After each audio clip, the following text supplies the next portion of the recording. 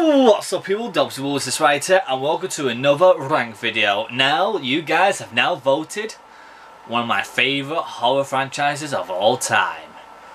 Resident Evil. Now, let you guys know, I have every single Resident Evil game known to man. And I mean every single one of them. I'm not going to say out loud that every single version from a different kind of type of console. That's like the Master Collection. I'm talking about every single number, every single spin-off, cam um, canon games and everything. So there's like 24 games. I know there's 25. But I'm not counting one of them because it's the god-awful. It is the worst. Nobody plays it if they do, they're definitely high on something, and that is the um, and that is Operation Corp. It's god awful. Just saying that out loud now. Um, it's not an actual physical game. You can only download it on the PlayStation Store. I think you can as well on the Xbox Store. I don't think you can on the Switch. But yeah, that's all I'm going to say for it. So there's 24 games to say out loud, people. This is going to be cut down into two episodes, like like, like I did with Final Fantasy, because it's quite long. Um, the five senses for Resident Evil. Number one, the story. How good is the story? Number two, the look. Does it look like a horror game? Does it look too mellow for what it's supposed to be? Was it good for its time and does it hold up to this day of age? Number three, the controls. How good are the controls? Are they smooth? Are they clunky? Are they not responsive? Are they responsive? Number four, the soundtrack. Now, when it comes to soundtrack for Resident Evil games, they've got to sound like it's horror or action. There can't be any romance music or anything like that. It's got to sound proper like a horror game or something that's quite actioner. And number five, the feel. Does the game actually feel like a Resident Evil slash horror game? If it does, great. If it doesn't, well, the feeling drops it down for there. So, there's 24 games. I'm going to try and speed from 24 to 17 very quickly on, on what I think about them and then as I go along they'll go slow and slow and slow until the next part, part 2, I'll be in more in depth for number 10 all the way up to number 1. So that being said, let's get it started, cue the Resident Evil music, and let's get this underway.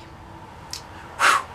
Number 24 is Mercenaries 3D on the Nintendo 3DS. But to be honest, there's no story, just put it out there. The look, it's good for a Mercenaries game, don't mind it.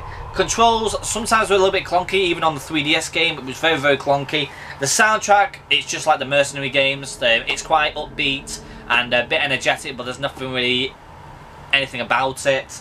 The feeling, there's no feeling into it. It's just like a standard mini game, like any of the other Mercenary games. I don't like it as much. It's my least favourite, to be honest. Number 23, Gaiden. Now, Gaiden is a Game Boy game, so it's a very rare one, just to let you guys know.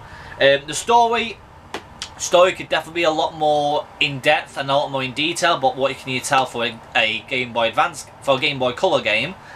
Um, the look for the game itself, it's quite nice for what it is as a Game Boy Color game. Um, the zombies look good. Um, the actual looks of the characters, Barret, Leon, they look really, really good for their time of age. Controls, uh, controls um, for the back of the day, they were alright.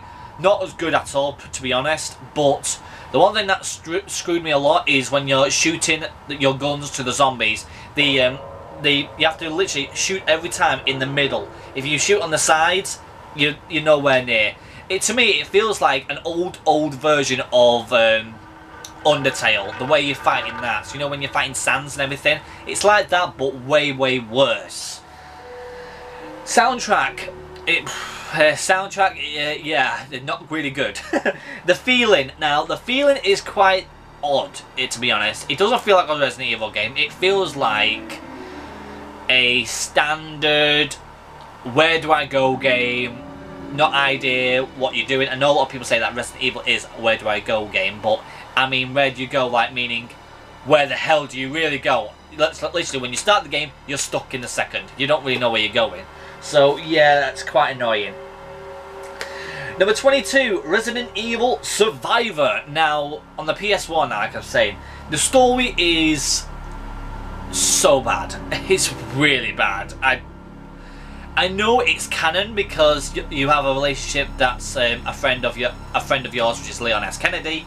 But I don't want to spoil the story for you at all, though, people. Like I said, I'm trying to make it out there so you guys know exactly what it's all about. Uh, Survivor is pretty much um, Joe in the outbreak of Raccoon City. Uh, you're about to escape, but you're stuck there. to be honest.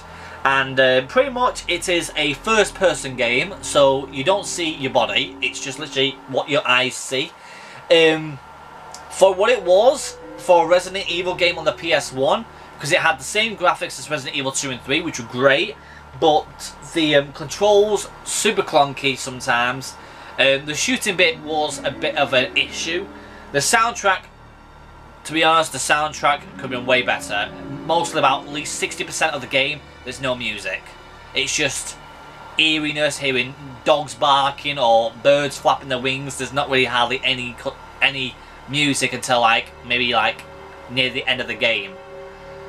Um, the feeling of it um, definitely does feel like a Resident Evil game. It really does. Um, it has all the elements of Resident Evil 2 and 3. Um, but still, I did not like how they went their hands on it. it. I like we already know that they have done a first a first person game of Resident Evil before, as you guys know. They did Resident Evil 7. Um, but for the back of the time, I don't think it was it was the right time for it to be made at that time being. That's what I'm saying. Number 21, Resident Evil Survivor 2. It was the sequel. Now this one, again, pretty much they made it way better. It was a PS2 game. The look was awesome. It had the feeling of um, Code Veronica X. Um, the controls were way better. The soundtrack was better as well. Then pretty much there was music all the way through the game. It had all the same soundtracks as Resident Evil Code Veronica X. But the story was the main thing about it. It is really, really shit, and pretty much I don't think there's really is a story in it. Um, if you want a story of Code Veronica, play Veronica X. That's all I'm saying. Number number 20, Resident Evil Operation Raccoon City. Now, the story there is quite confusing because it's pretty much mixing up with the canon stuff to the stuff that ain't canon. So, yeah, it's pretty much what would have happened if Leon, Jill, Claire, Wesker met up with the Operation Raccoon City squad of Umbrella. So, um, yeah, it's um, it's not really canon, but it is. It's hard to understand if you haven't played it. To me, it did not feel like a Resident Evil game. It really didn't. It, the looks, it looked like a Resident Evil. It didn't feel like a Resident Evil. To me, it felt like a mismatch, a mishmash of Gears of War and um, and old classic third-person shooter of uh, Medal of Honor. Really, really, but in really bad graphics, to be honest. And a for PS3 game, they could have done better, but to be honest, I didn't think it was that really good for feeling of a Resident Evil game. The soundtrack is solid. The story, like I said, it's a bit of a mishmash. It's whether you follow it or you don't. I followed it to the end, and still there's a lot of potholes that should have been answered, but you can't do anything about that. Number 19, Operation... Um, number 19, Resident Evil Outbreak 1. Now, this is a massive kick-up now. It's pretty much... Um, it's pretty much almost fixed cameras, but the camera actually follows you. Um, you get to play as different characters. That's the thing I like about it. You play as different type of characters with their different stories, and um, they all have different type of jobs back in the Raccoon City. It's really good. You get to play as a bartender, a maid, a police officer, a washed up police officer, a security guard, a lot of different type of characters. The look, it looked like Resident Evil as a civilian. It was really good. Controls, a little bit clunky. Um, the um, storing weapons was an issue for me because I hated it because I like storing weapons in boxes. Pretty much there's not really any boxes unless you really do find them.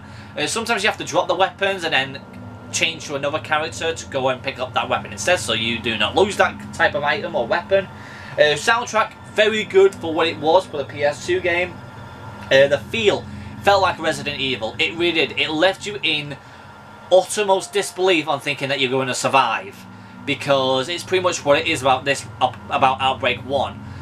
It's literally non-stop, you need to survive. If you don't survive, it's game over. So yeah, that's my number 19. Number 18, Resident Evil 6, one of the main games. Now, a lot of people understand this. Resident Evil 6 is not a good game. Yeah, I understand that. The story, I did like the story though. I love the story. I know it didn't feel like a Resident Evil. I know it did not feel like a Resident Evil. I know that for sure. Did it look like a Resident Evil game? No, it did not feel like, it didn't feel like and it didn't look like one. The soundtrack was awesome, the controls were amazing because it had the same controls as Resident Evil 5 and Resident Evil 4. And also the remakes of uh, 2 and 3. So that was a good boost for me. But like I said, the story and everything, it felt like a zombie outbreak game, not a Resident Evil game. A zombie outbreak game meets James Bond. It felt like that. And I actually do like that quite a bit. I know a lot of people hate it, but for me, I actually do enjoy it quite a lot. But not as much as the rest of them, if you guys want to know. Number 17, Resident Evil Revelation 2. Now, there's a people that you love this game or you hate it. I actually do like it, but I don't hate it. I don't love it, but I do like it. Story is very straightforward. You're pretty much playing as Claire Redfield or Barrett, which is the first time in many years you get to play as Barrett. Which is awesome because I actually do like Barrett. You know, you almost turn into a Jill sandwich. but to be honest though, it's very good because you have Barrett's daughter in it, which is the first time seeing her. You have this little girl who you control that can see these monsters. They're not zombies, if you guys want to know. They're something completely different. But it's some type of new virus that can that's connected to your fear. The look, it looked like Resident Evil. It looked like a good Resident Evil game. The feel like was Resident Evil. The soundtrack, I didn't like the soundtrack at all. I find it quite boring. When there was a cinematic, I'll listen to it, and then after that, there's no soundtrack. I put my music on. So that's the thing. Control, smooth as anything. Very good. Number 16, Resident Evil Dead Aim. Now this is once again, this is a first person shooter, but also a third person game.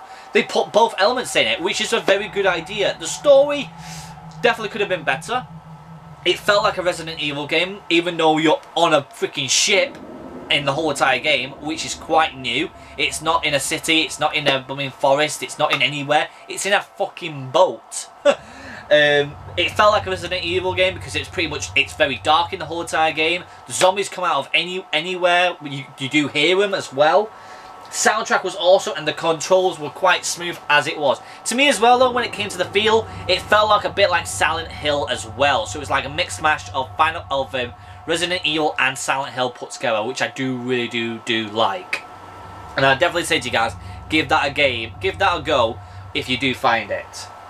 Number 15, Resident Evil 5. And once again, a game that's known for its memes. I like punching the rock. oh, the story is straightforward. It's good. It's a story about the Ouroboros virus in South Africa. It was new, it was fresh, there was nothing about Raccoon City or anything. It was a new area, new new country. You get to play as Chris Redfield and a new girl named Sha um, Sheva. Um, story about, um, it's pretty much story about Wesker, this Ouroboros virus, and about the missing of Jill Valentine. I'm not going to spoil it for you guys, really, but that's pretty much simplified on what the stories are really about. And it's a very good in, in my eyes. And yes, I do like the end, the final boss fight too. I know a lot of people hate that boss fight, but I love it. Um, the look, yeah, it did not look like a Resident Evil game. I understand that, but it felt like a Resident Evil game. It really did in my eyes. Not in the beginning of the game, it did not feel like it at all. It felt like a standard, like, a standard shooter's game in third person. But when you get into the, um, like, second, second to last areas, like, when it when the when the days started to go really really dark, that's when it started to become like Resident Evil. When it was in daytime, it didn't feel like it at all. But when it started getting dark, it was it felt like Resident Evil. Um, controls were smooth, and so was the soundtrack. It was great in my eyes. Number 14, Resident Evil 1, the original. Yes, the, the original remake are going in separate numbers because they have to. The original, you can't treat the original Resident Evil 1 like trash because it was the pinnacle of Resident Evil. It's how it all started. Yes, the acting is terrible. Wow, what a mansion! Um, the story, it's simple. I'm not want to spoil it for you because it's quite simple enough. You're in a you're in a um, mansion. You're trying to find out where these zombies are coming from and who is a traitor. That's what I'm saying. Controls so freaking complicated and super clunky because of the fixed cameras. And plus, to go forward was to click forward. Even though the just looking at you this way, if you click forward, it's walking this way, not that way. So it's like, oh, you have to get you have to get used to the fixed cameras. And it's and it, to me, to this very day, it's still struggling for me to as well because I forget the fixed cameras a lot. And yeah, I do wish that the old controls were abolished because that I don't like them at all.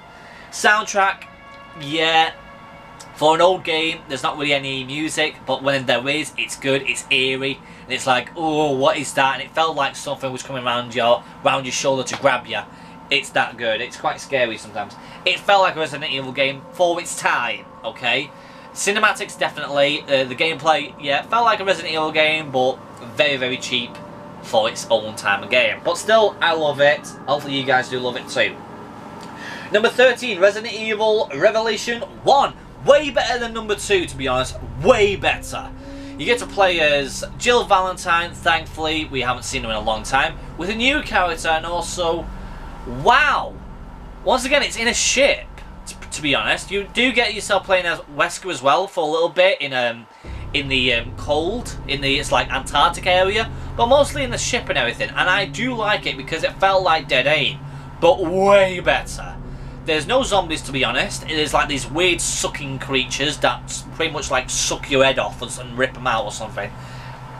It's very confusing for the story, but I understand it very well because, excuse me, it's pretty much based after Resident Evil 3, if I remember. And oh my god, it was a good story to be honest. Because if you bypass the confusion bits, it's very good. It felt like a Resident Evil game. It looked like a Resident Evil game. The controls were good and the soundtrack was good when it was playing. Sometimes it was quiet because it was anticipating what was going to happen, but when the monsters come up, come forth and get you, or there's a cinematic, the music really does pay off a lot.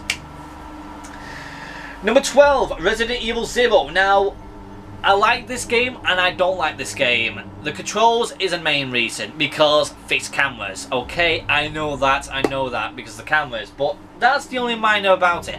So, the music, when it's on, it's good. When it's not on, it's anticipated. That's why I liked about the music and everything. Sometimes when it's quiet, it needs to be quiet. If there, if there needs to be music, there is music. It felt like a Resident Evil game. It looked like a Resident Evil game. The storyline was good because it was pretty much getting yourself prepared for Resident Evil 1, which I like it because you didn't have a clue what happened to uh, Bravo team because you were um, you were with Alpha team. Was it Alpha or Bravo? It was one of the two. I keep keep getting mixed up on which one it was. Um, you get to play as Rebecca Chang and you get to play as Billy, and uh, wow, them two are such a great team together. And it's to be honest one of the best teams out there for Resident Evil games.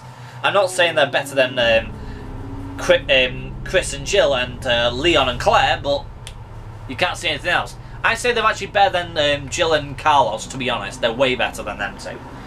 So pretty much that's my number 12. Number 11, Resident Evil Code Veronica, or Veronica X, wherever country you're from. Story, good. Really do like it. It's a bit, pretty much a story of Claire Redfield looking for Chris Redfield, her brother and she goes into this Umbrella Corporation warehouse to look for him and turns out she gets caught and gets arrested and gets sent into this remote island that looks like Shawshank Redemption to be honest and then it turns out the whole place is flooded with zombies all of a sudden and your main mission is to get out and find Chris. You meet another fellow member called uh, Steve but at the end of the day, it's a good story to understand and follow, and it's about a new virus. It does have zombies in it, but it's mainly known for having these insect type of um, viruses called Veronica. It's like an insect type of virus. It's quite good. It looked like a Resident Evil game. It felt like a Resident Evil game. Soundtrack was good, and putting the elements of opera in it was really good for a good shout for the game. It was a new type of music genre form, and I think it worked very much to control. And like I said, the controls were better, even though they still have fixed cameras sometimes. But when it does, they work smoother. I like that a lot. And that is all I've got time for today, people, because then we're going to be moving on to number 10. So, hopefully you guys enjoy this video at the moment. This is the end of part 1.